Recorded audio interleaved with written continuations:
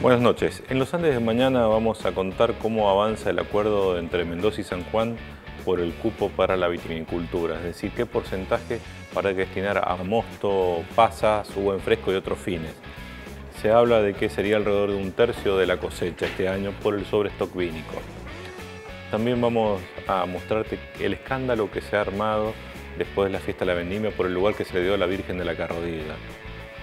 Se agarraron los centros tradicionalistas con Gareca y ahora se metió el obispado de San Rafael. Otra noticia que tenemos tiene que ver con el Museo Municipal de Arte Moderno y el Teatro Quintanilla, esos que están en la, Plaza Independencia. Van a reabrir en septiembre, prometen, están totalmente en obras ahora, pero con un nuevo formato, un nuevo concepto. Van a ser un centro cultural, una especie de centro cultural. Y por supuesto, mañana vas a tener toda la cobertura del partido de Godoy Cruz en su segundo partido en la Copa Libertadores. Más información en www.losandes.com.ar.